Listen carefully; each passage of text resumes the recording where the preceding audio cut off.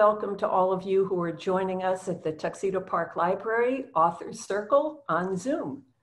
Now, this would have been our 10th Authors Circle dinner, and we had planned to go all out, honoring our hometown author, being interviewed by a celebrity New York Times journalist at an ever more gorgeous venue. But here we are, hunkered down at home and doing our best to share with you the excitement over Amra's recently published book. Now, some of you have ordered a delicious dinner for tonight prepared by Tuxedo Park Events, and you'll be dining with us in spirit at home. And I want to thank you all for participating in your support of the library. Hopefully next year we'll be together for the best ever over the top in the flesh celebration. This evening we're fortunate to have two shining stars from the Tuxedo Park universe to inform and entertain us. Katie Rosman, writer of feature stories for the New York Times, an engaging interviewer of many authors and celebrities, and this year's Authors Circle honoree, Amra Sabic-El-Rayess. Dr. El-Rayess is an associate professor at Columbia Teachers College, author of scholarly articles on education and its impact on societies around the world, and very importantly, the chair of the Friends of the Tuxedo Park Library. Mm-hmm. Her book, which was just published a few weeks ago, has received six starred reviews. These are reserved for books of exceptional merit, and it's unprecedented in publishing for any genre, much less one positioned to young adults, although I'm sure you'll agree this is clearly relevant to and admired by adults as well. On a high level, the themes in Amra's book touch on resilience, education, hatred, and survival. But knowing Amra, reading this book felt very personal. And I'd like to share with you part of a note I sent to her when I finished reading it, many Kleenexes later, I should add.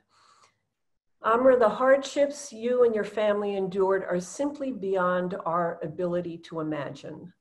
Most of us lead such privileged lives in this country. And even with good intentions and the now common video footage of war scenes, racist attacks, and refugee camps, we cannot fathom the life of such oppression or the deep scars that haunt survivors.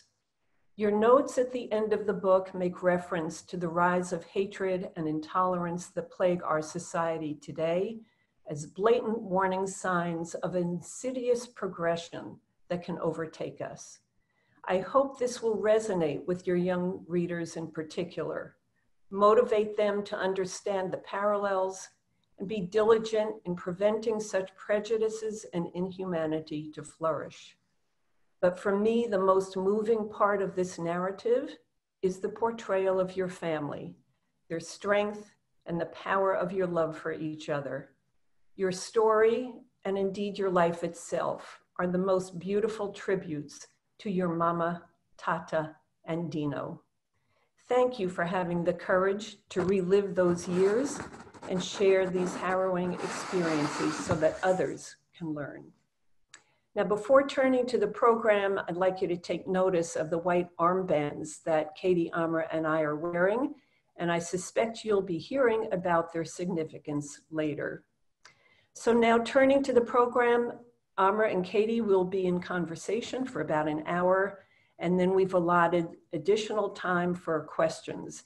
So if you have questions at any time during the program, just click on the Q&A at the bottom, right bottom of your screen and type it in, and Katie and Amra will be able to see them at the end. As a follow-up, uh, Diane Loomis, our exceptional library director, We'll be sending you information if you would like to order books, or you can just go to the library website, click on shop. That's if you haven't already purchased them, or if you want to stock up on holiday gifts. And always the library appreciates your support. Should you be moved to donate, please go to our website, click on Friends, and then the donate button. Uh, just a reminder, as a special treat for those of you who are dining with us, uh, Diane has sent an email that has a link to Amra's Bosnian music playlist on Spotify. So you can play that while you're having dinner. And now I turn it over to Katie and Amra. Uh, Kate, I'm sorry, Amra is going to first read a short passage from her book, and then the two will engage in conversation. Thank you, Barbara, and thank you everybody for being here. Thank you, Katie, for being willing to have a conversation with me um, today. I am deeply grateful for this evening. I know this is not how we had hoped to get together this year, um, but I do feel that we're still a family. Now we may be a Zoom family, um, and I look forward to your questions and genuine conversation on not only my book, but issues that we are facing in this country that relate to the kinds of hatred and discrimination that I had survived. And tonight I am going to um, read for you a section, a brief section from my book um, that depicts a moment when I first encounter bombs. So this is June 12th, 1992. The war has started or is starting, uh, and it becomes real for me that day. Then one bomb falls so close, it seems like it's on top of our heads, and the whole house shakes. I feel the feather touch of dust falling from the ceiling. My very bones seem to shake. Everyone jolts awake, calling for their loved ones, screaming, crying, crawling for the lights. But the electricity is out. And we're trapped in the dark. My eyes are wide, staring at nothing. I'm certain the world is ending. It doesn't end. Not for us, anyway. Not that morning. The bombing doesn't stop for hours. We are rattled and shaken, but, the, but that bomb that woke us all is the closest hit. I can still hear them, though, every one. Some bombs are distant, muffled, like the footsteps of someone in the night. The closest are like stampeding elephants, like freight trains. Sometimes there is a lull, and we begin to hope it might be over. They've made their point, Tata says. The world is watching, and now the world will stop it. But the bombing continues until noon. Someone has lit candles, and we count the minutes by the loudly ticking clock. By three in the afternoon, it seems like the bombing must be over. Tata and an uncle go upstairs. When they come back, they report that our greatest fear is unrealized. There are no Serb soldiers in the street. Surely that means the United Nations has made them see reason, Tata assures us. We will negotiate. We will rebuild. We will bury the dead, I think. One of the neighbors staying with us bursts into tears when Tata tells her the blast that woke us destroyed her house. But your family is safe, Mama chides her. Things can be replaced, people can't. For a long time, the children remain still with fear. The hours of bombing have subdued us, but we've been locked up for three days. And after a while, even our fear can't keep us still and quiet we start to beg to be allowed outside, upstairs at least, anything, just to see the sun after our long confinement. I can tell Tata wants Dino and me to stay below, but then he's swept up in the work of checking on neighbors, clearing rubble, marshaling supplies, putting out fires. We are on our own we don't get official permission. But when Tata and Mama aren't paying attention, Dino and I slip outside. We set off hand in hand. I clench him tightly. Sure, something awful will happen. But soon he breaks free and is skipping through the debris like it's a holiday. He was afraid during the explosions, but he seems like he's already over it. Is he that brave or only that young? He's fascinated by the cross section of the house that was hit. With half of the walls sheared off, the private becomes public. A toilet perches at the edge of a rugged precipice in the bisected bathroom, staring at the street. Dino dodges playfully around glass, peers into a crater in the street. I realize that I didn't wear my volleyball shoes. It doesn't matter. After seeing the devastation, I think this is too much for one girl to outrun. No matter what shoes she's wearing. Because it's all luck, isn't it? Good luck for one, bad luck for another.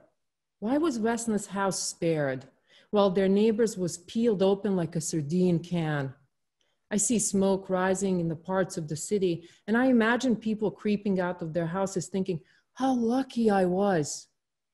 Now, watching Dino cavort through the ruined street, I have a sudden reckless feeling. We could all die at any moment. I've been an obedient girl, a good student all my life. But this danger would be no different if I were bad. Suddenly, I want to do something bad for once in my life. We're passing the house of Kudic, an old architect with a pretentious French beret and opinions on everything. The yard is filled with fruit trees and bordered by a limestone wall. The neighborhood kids love to climb the wall, reach over, and steal a piece of his fruit. Most of the time, it's hard and unripe apples and plums, so bitter and nasty, they call it driskulja, or diarrhea fruit. The kids don't care. The fun is in being yelled at and chased by Kudic.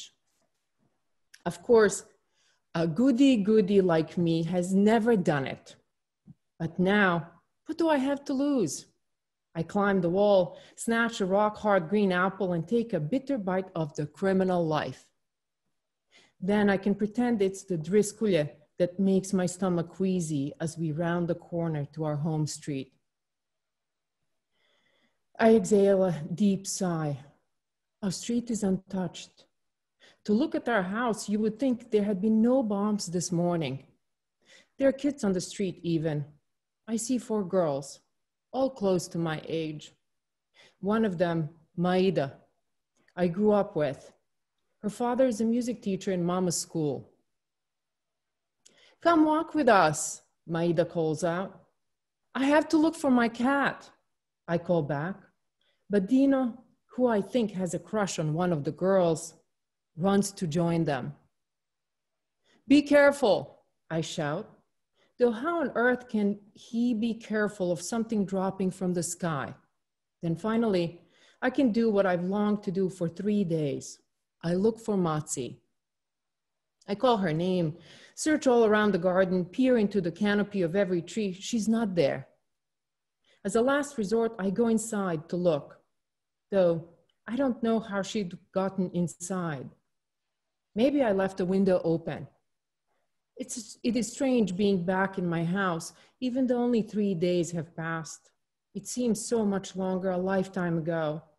There's still a coffee cup on the table, the remnants dried to black sludge. My cousin Jana's grandmother used to read our fortunes in the coffee grounds. She gave Jana many loves, but me just one.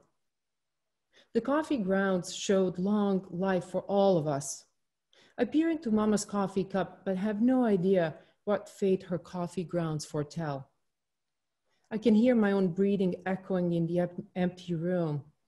The house feels hollow. Matzi, I call, but of course there's no answer. Maybe she's in my room, her favorite place.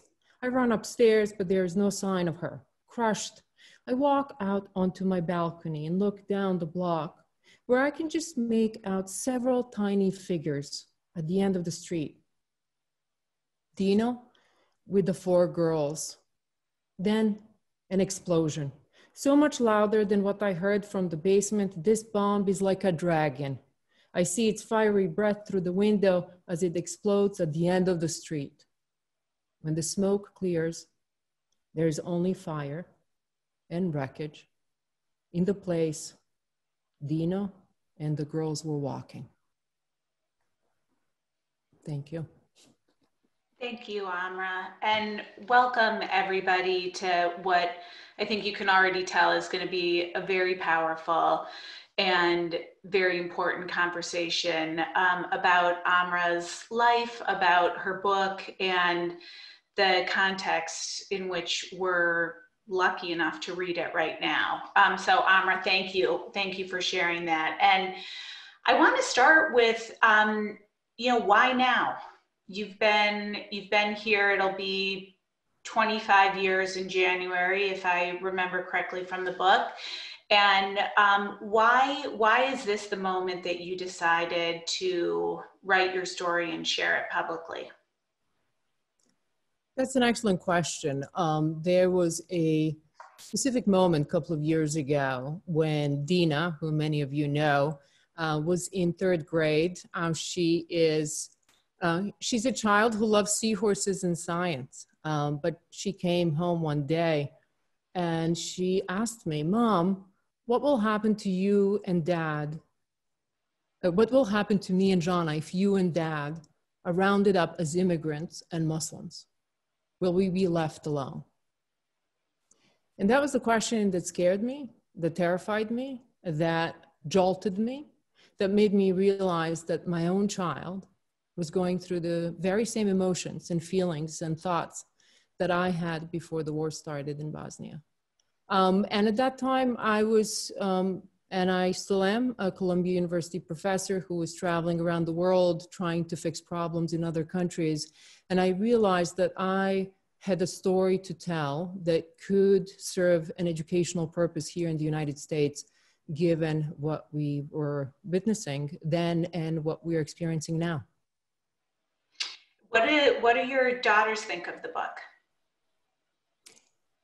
Um, that's an interesting question because through the entire process, I um, asked them to read chapters. In particular, Dina, um, who very much cares about social justice issues, uh, was focused on reading each chapter, and she's watching this right now. And she was um, uh, she was one person who was giving me consistently amazing and genuine feedback because she heard all these stories. I'll tell you in one detail when Dina started school at um, Tuxedo Park School, and um, two years into it, maybe they were in kindergarten class, and um, Dina started talking about genocide. And someone in the class turned to her and said, Dina, what is genocide? And he said, How come you don't know?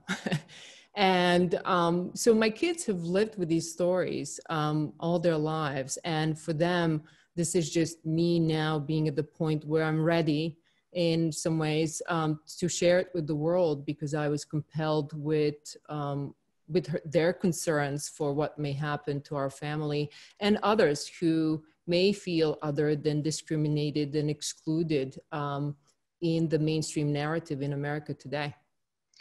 So, what would tell us a bit about what your process was like, separate, you know, from having, um, you know, Dina read in in chapters or piecemeal and give feedback. You know, how did you, you know, we all have our our stories, some more harrowing than others, clearly, but how do you go from them being the family stories that you share to putting together a book that has narrative structure to it that um, you know is has a lot of details and attention to historical details. How'd you do it?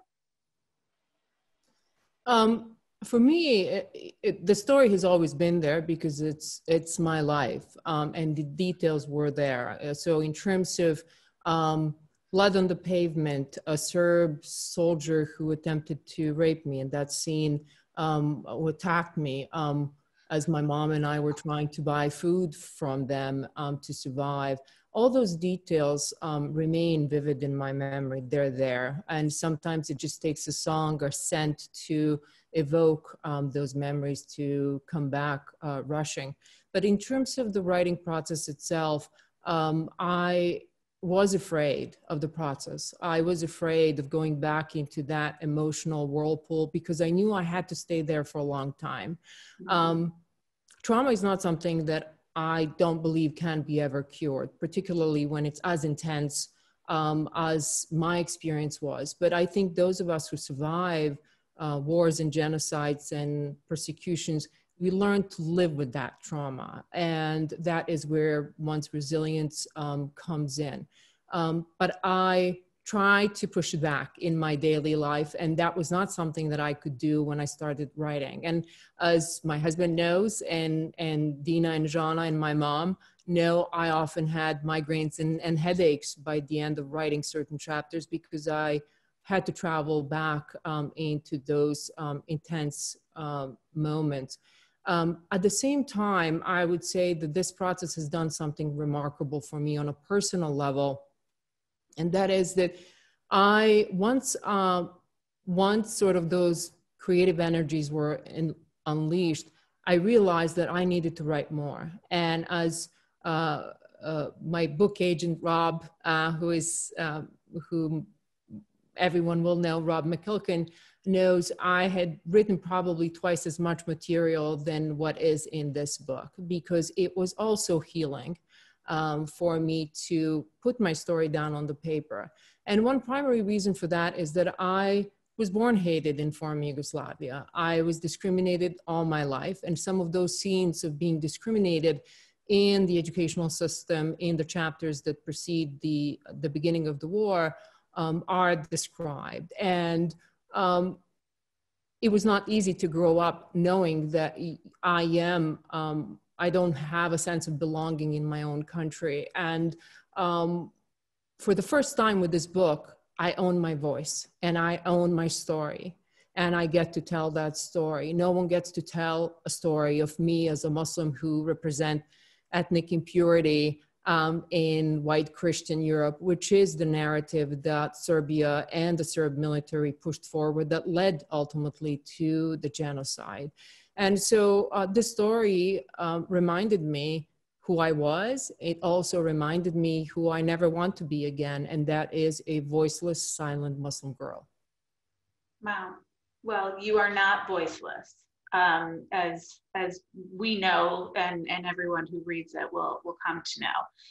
So, um, how have your relatives reacted to this? This is you're telling you're telling your story, but you know you're it's not just your story, and I'm curious how um, how they've taken it and how you interacted with them in the process, if at all. There's an entire range of reactions. And I think one reaction that I um, would um, love to focus on because I do think it um, has an educational component in it um, is the fact that uh, sexual violence against women um, as as the war began and genocide unfolded was one of the primary tools of sort of killing the sense of belonging and sense of self-respect for Bosnian Muslims as an ethnic group during the war. And, and thousands of women were raped, and the exact numbers will never be known. And thousands of women um, uh, disappeared or were killed um, in concentration camps and rape camps. Um, I do um, talk about sexual violence. Um, I do talk about a specific scene when a Serb soldier attacked me. Um, uh, but there are also much worse experiences that I could have talked about um, that um, are part of history um, in my uh, expanded, uh, extended family. Uh, but the conversation that ensued was whether um, it would hurt those who were repeatedly raped um, to, to have that experience in detail memorialized. And there's also a sense of shame uh, for women who are raped that somehow it is their shame or their, their fault um, to carry. And um, what I think is unfortunate that the, the choice I had to make uh, was whether I wanted to protect the privacy of those uh, family members and, and, and friends um, whose stories um, I know and whose stories affected their lives um, or expose the severity of and the kind of brutal violence that women experience in the in the war. And I chose to protect uh, my family members, but um, that just gives you a sense of the kinds of conversations that this book uh, led to in in terms of our family members and simply decisions that were made collectively what I should and should not share and and then you also probably had to take into account your audience. So you wrote this as a ya book which you know i'm sure regular readers know. Ya is a really robust and amazing um, uh, you know area of publishing. And there are many adults who read you know a lot of ya books but the signaling of ya that is that it's appropriate for teens also. And were you was was that in your mind at all? You know, is there too much to share? Um, you know, what will a teenager be able to handle, or what was your thought process with regard to the audience and your selection as, of YA as the genre? Mm-hmm.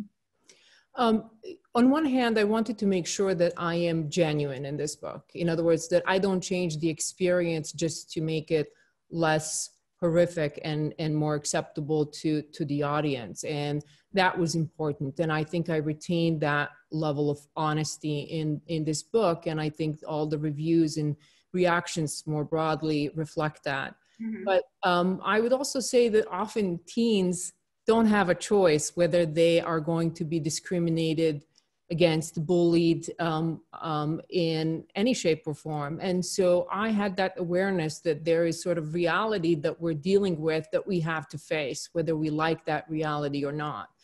Um, and um, in terms of um, the YA, um, generally YA market, it, I do have to say it was important to me to make sure that the gatekeepers in schools um, take this book and and bring it into the classrooms. And one of the um, sort of happiest moments that I have when I hear um, of reactions to my book is when I hear from teachers who are asking me to um, come into their libraries or into, into their classrooms. And I am doing that. For instance, next Wednesday, I am going um, to um, give a lecture in a classroom of eighth graders in a school that um, is largely composed of immigrant children, children who are disadvantaged, who ordinarily wouldn't have an author come and visit their school.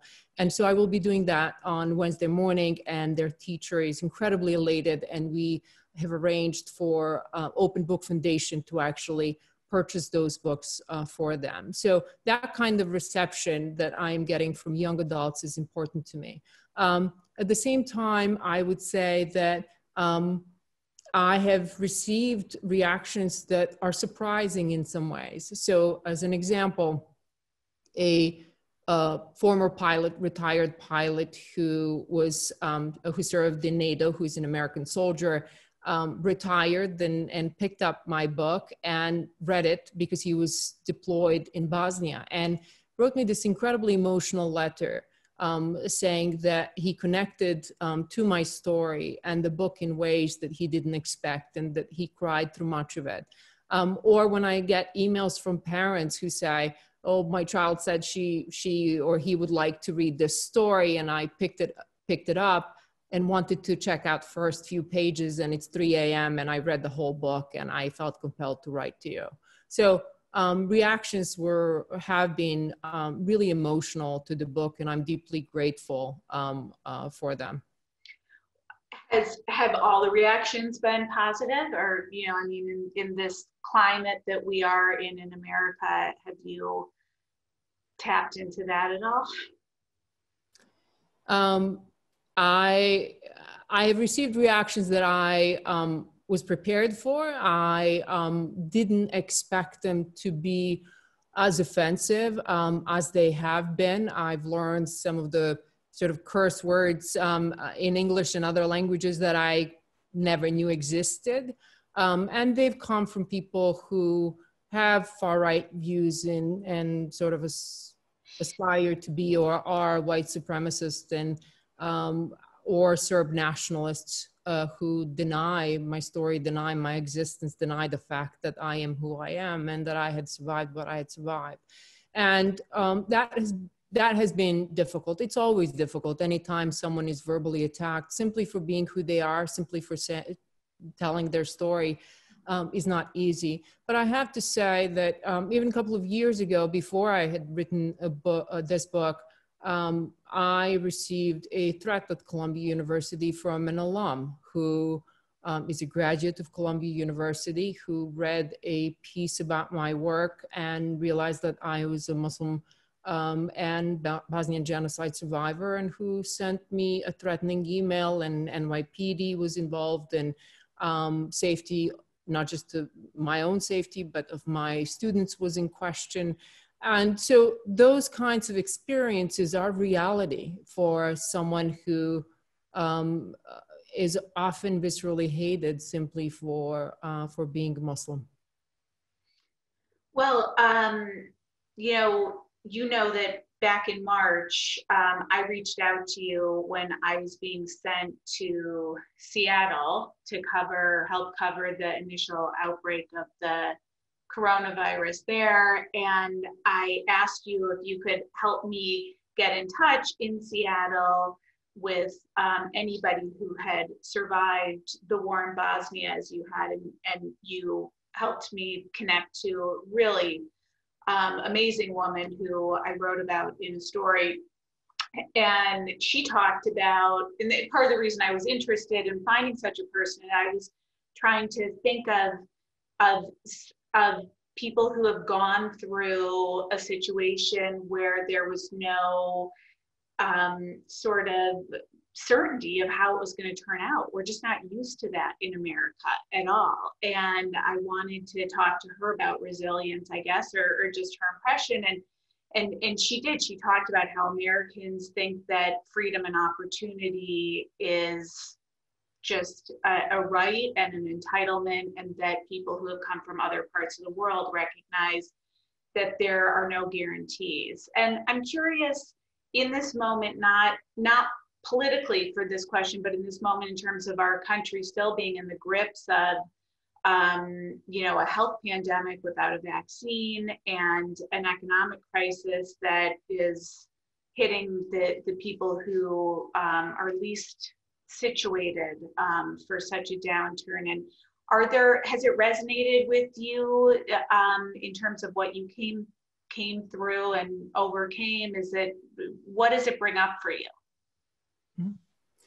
Um, there, there's so many thoughts that I have in response to that question, but um, I'll start with this, and and and it really comes from the reactions to the book uh, from those who have read it, um, and people who have said, "I sort of forgot that I'm reading about a Muslim girl surviving genocide because the sense of social unrest and, and upheaval and uncertainty and fear and discrimination and othering and this narrative of us and them um, is so relatable um, that people are going through their own emotional processing of what is happening in the United States uh, right now.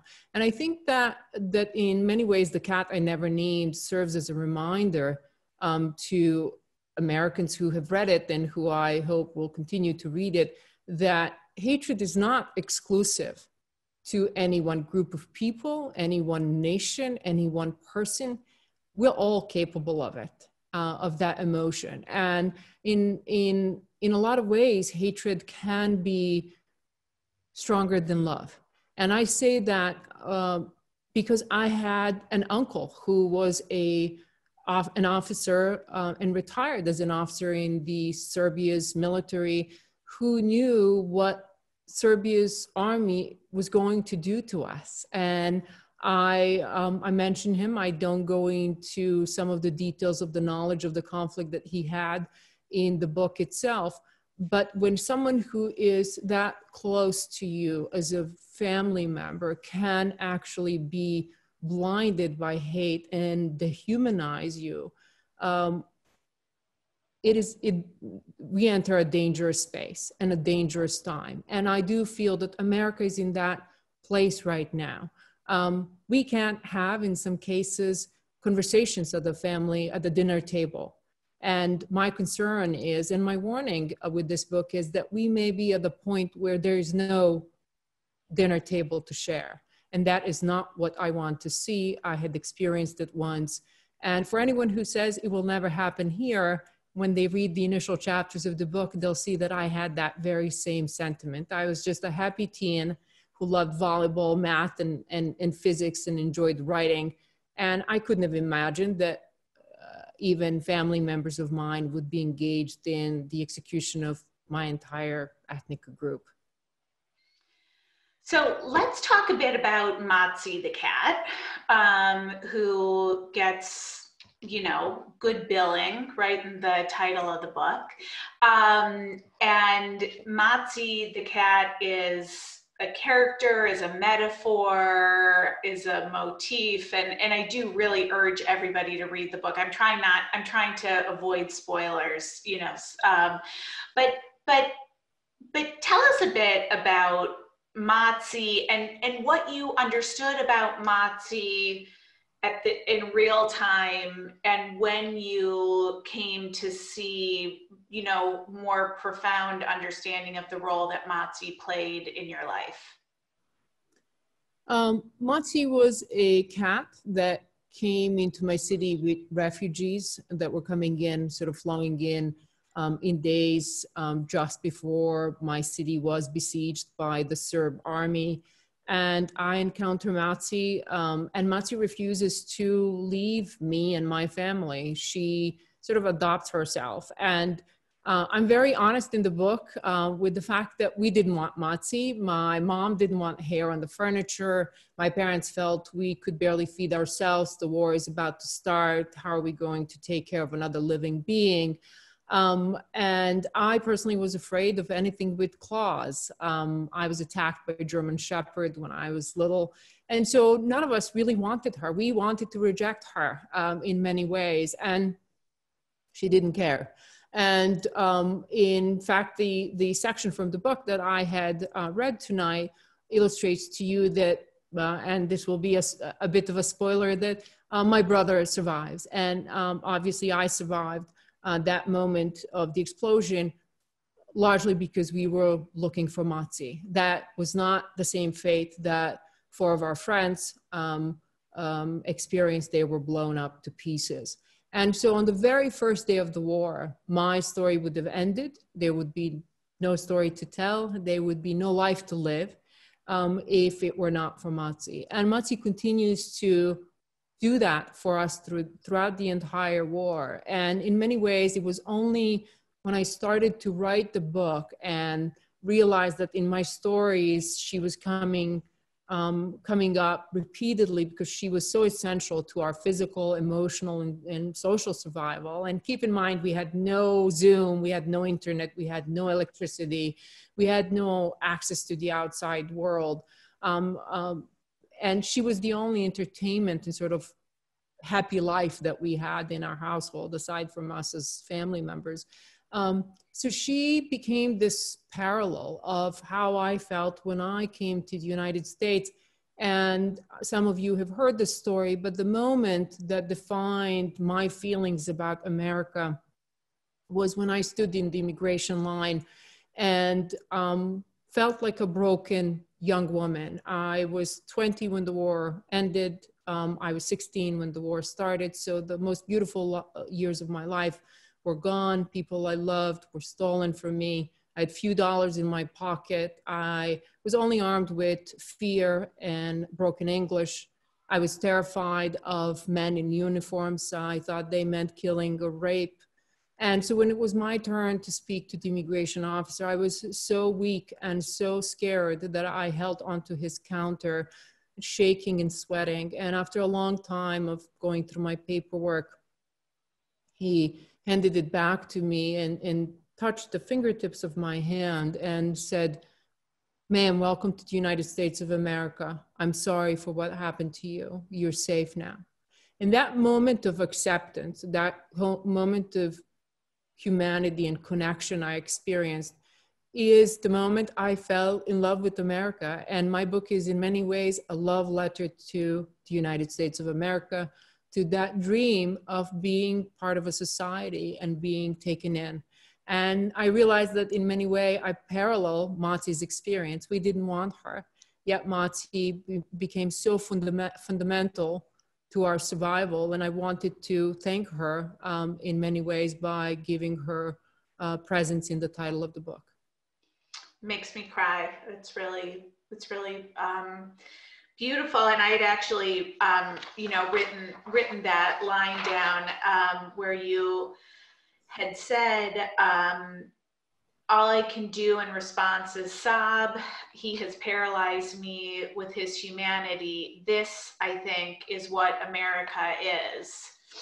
And I wanted to know if, if, you know, we can still lay, lay claim to that. Is America still that moment and that place and that touch and that you know word of you're welcome here and you're safe do we still have that here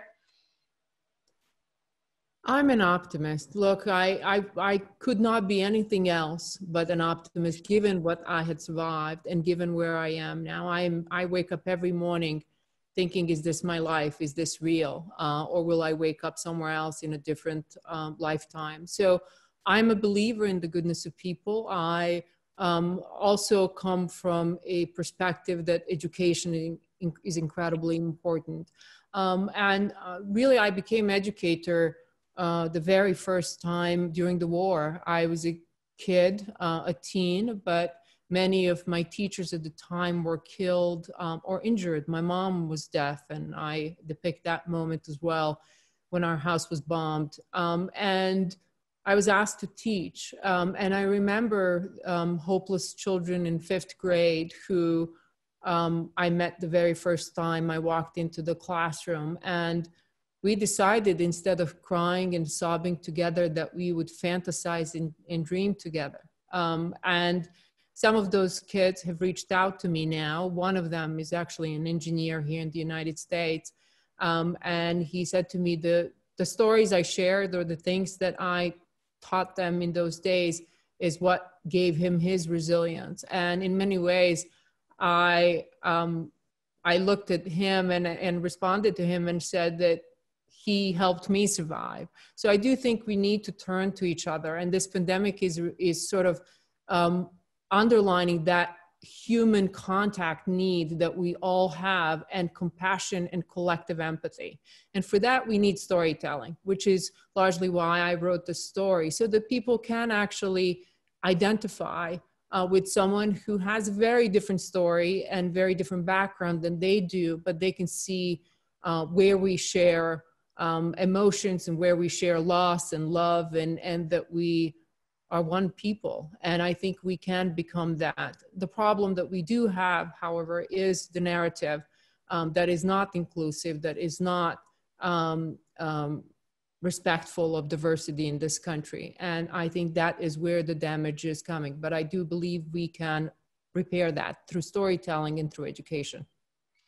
Um, so uh, I want to stick with education for a second because there, I mean, there are it's touched on throughout the book, but there is a moment in the book where you go to school and you notice that there are a lot of your fellow students who are not in school. You're walking, the streets are quiet, you're trying to piece it all together, and you get into class, and, and what you learn from your teacher um, is that everybody but the Muslims have been made aware that the city is going to be invaded so that everybody else could escape um, to safety elsewhere. And, um, you know, but for you and, and uh, your fellow Muslims, you're there. And, and the teacher is devastated by this. He's married to a Muslim woman himself is not if if i remember correctly. And and he grapples you know, with this moment and what it means in the classroom, what it means about about the the country at large, and um, and and it just so powerful to me, and certainly at this time where teachers are doing so much to um, i mean they're they're facing a public health crisis in order to educate. And I'm just wondering, you know, we get your sense of that experience as as a young girl and as a student in that classroom. As you wrote it and as you think about it now, how do you feel about that as a mother and an educator yourself?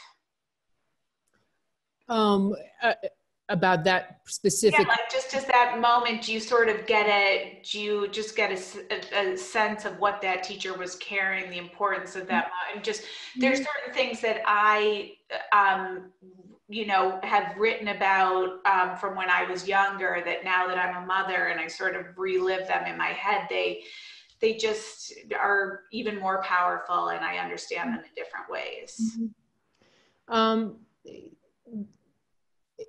thinking back, uh, I'll share a conversation I had with my brother that I think will will will take us there to, to your question.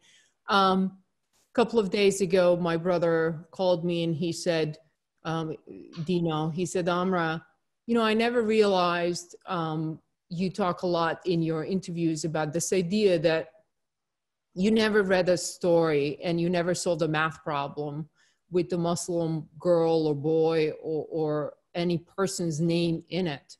Um, and I never realized that growing up as a kid. I never realized that our educational system actually erased us from the stories, from any kind of in form of representation. Um, we, but we did in sort of subconscious level internalize that exclusion. And so we knew that we were there, but not really, that we were invisible in our own educational system. And um, thinking back, I was aware of it uh, back then uh, more than my brother who was younger. And so I think depending on the age, uh, one processes information and the educational experience differently. And I would say in that system in particular, it was important to have a mentor or teacher who would show empathy and compassion and connect to one's lived experience. And that particular um, teacher was Serb by background. He was one of my favorite teachers. He was a true intellectual. And um, he really, in that moment, um, woke me up to this idea that I was hated, but that still there was humanity in everybody, even in someone like him who had a different background. Um, so thinking back, it is in some ways more painful than it was then knowing how systematic that exclusion was in my entire um, life. And I do think that kids um, and teenagers are in some ways more resilient and perhaps we're made to be more resilient to be able to weather through those initial experiences and now i'm going to link it to um, my own kids experience and how important it is for them to feel represented and included in their own um, education here in the united states and uh, for me as an educator in the classroom i make a conscious effort to make sure that no student ever feels that they're not heard, that their perspective is not represented, even if I disagree with that perspective.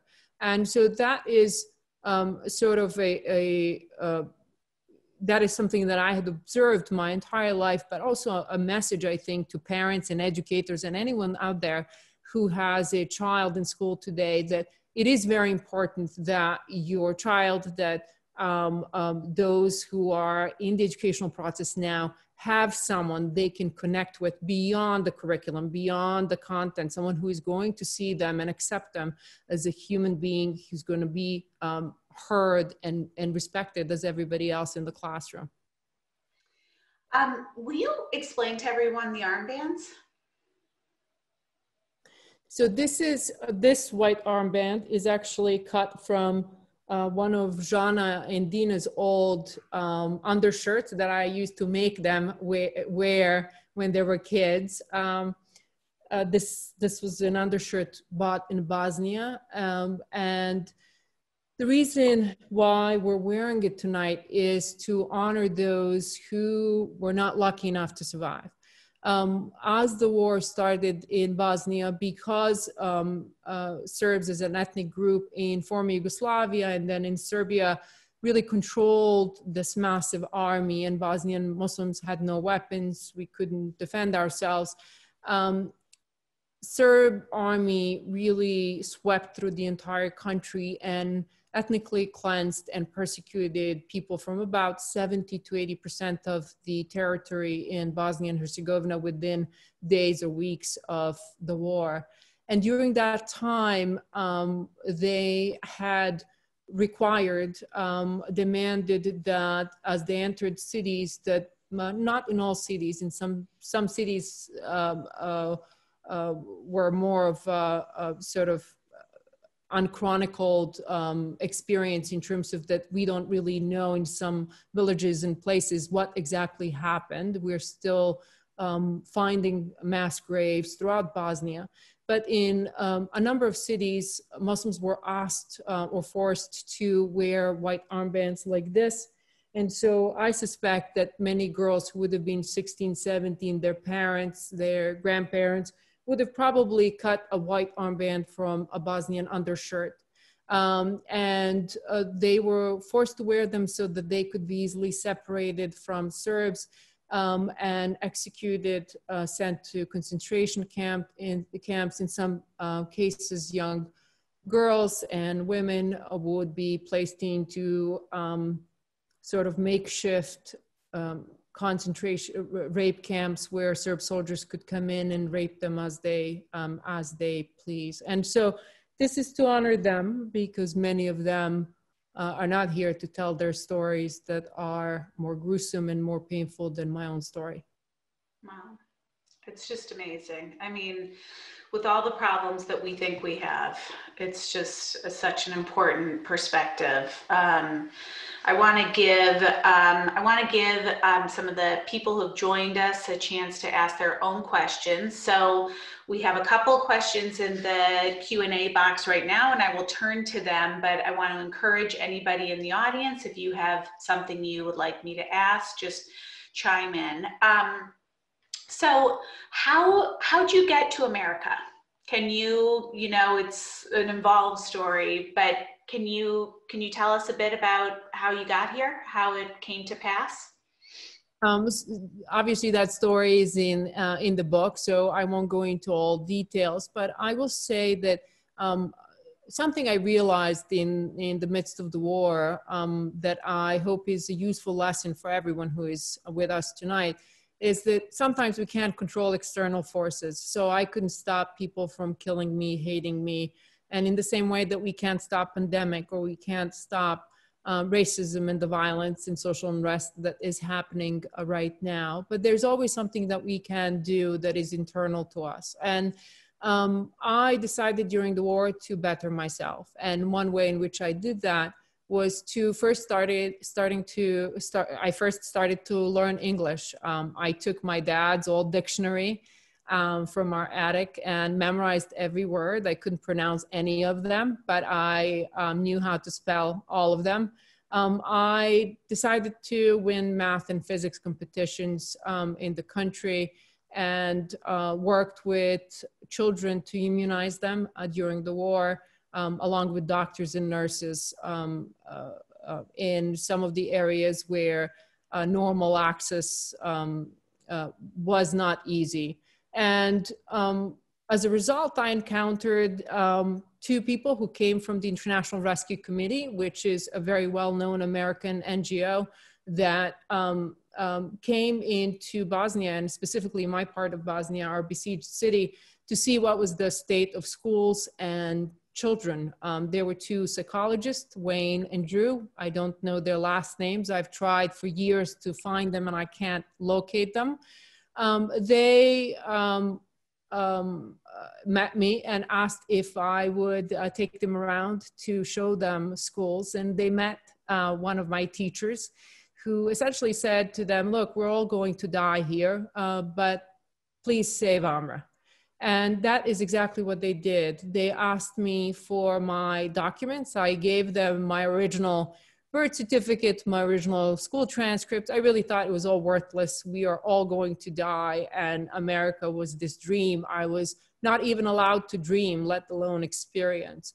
And um, after uh, a while, um, I heard back. I received a call um, uh, informing me that I had a benefactor in the United States who was going to fund my first scholarship. And of course, in response to that, I hung up the phone. Um, I thought it was a, some crazy prank someone was pulling on me that was not real. My parents also, when I told them that um, I got this supposedly scholarship, thought I was crazy um, and um, tried to calm me down. I, it was just surreal. It was not possible to be happening to me. Um, and um, that was really what led to me coming here. But I just want to again reiterate that if I didn't sit down to, on my own, uh, self improve and self educate during the war, I wouldn't have met um, Drew and Wayne, and things would not have in my life played out the, the way they that they did. And sometimes we don't know what's the purpose of specific content that we may master or learn today. Uh, but uh, based on my experience, everything that I have learned along the way has always come in handy. Um, and I'm grateful to Drew and Wayne, even though I, uh, um, I may never find them um, again. And also David Pincus, who was the benefactor that uh, funded my scholarship, who is no longer here. That's amazing. I feel like I have to help you find Wayne and Drew. I feel like it's my new journalistic responsibility. I mean, I hope I hope you can. I would love to find them um, because they changed my life and they don't know it. Well, um, I am sorry, like it, to be so weepy as I am during this conversation, but I think it is so profound and um, you know important and important to connect to the promise of America and what it has meant for all of you know you specifically and for many of us all of us at some point our our ancestors uh, those of us who uh, our ancestors came by their own free will of course which is not everybody but um, it is it is what makes America a great place. And and um, I really just thank you so much for reminding us of all that. And um, one last thing at, at, the beginning of the book you have um, a, a, teacher who's quite adversarial to you. It's not one of the hero teachers and um, she says uh, in a not kind way to you you just wait and see what the world has in store for you. And um, I just read that and, you know, somebody who operates with a big chip on my shoulder all the time, I just love what the world has had in store for you and what you have had in store for the world. Um, and as, you know, as a friend and as a part of your community and as an American, I just thank you for what you've done and what you've shared with us both um, tonight and in this book. So thank you, Amra. It's really amazing. Thank you. Uh, thank you, Katie. Now, um, now you're making me cry. well, it's, it's nice to feel it's, it's a feeling of great patriotism and, and pride and a sense that uh, we have to continue to do more and do better. And I think that is a, a, you know, a call for all of us to answer. And, you know, it's, it's really important that you've tapped into that for us. Thank you. And, and as we, um, you're probably watching the time and, and uh, we're at the end, but I, as we end, I will share one detail moment with my father that conversation that we had in the war that I think um, should be the final message that I share with everyone. And that is um, that there was, um, we were in a situation where Serb army was coming so close to our neighborhood that we could see the hill right across our neighborhood um, being burned down by them. We could see them coming, the soldiers coming down and destroying and killing um, everyone. And my father turned to me and said, Amra, I may not be able to save you. Uh, we may all be killed and you may be raped. But if you do survive, there's one thing that nobody can ever take away from you, and that is your education. So um, I live by that, um, and I hope that everybody else um, takes education, not only formal education in the classroom, uh, but their own self-education to heart because I do think that education uh, brings us closer together. We learn each other's stories and it evokes empathy. Um, and empathy builds social cohesion and we desperately need it in this country. So thank you, everybody. Thank you, Katie. Thank you. Thank you all for joining us tonight. I, I truly hope that you'll read the book. Um, you will be better for having done so. And um, hope you who are having dinner tonight enjoy it. Um, and, you know, we hope that you'll donate to the library. Um, it is a center of education. It's a center of empathy for all the reasons that Amra has um, detailed. And uh, it's really the heart and soul of the community for many of us. And thank you for supporting it. Thank you, everybody. Okay, good night. Bye. Good night.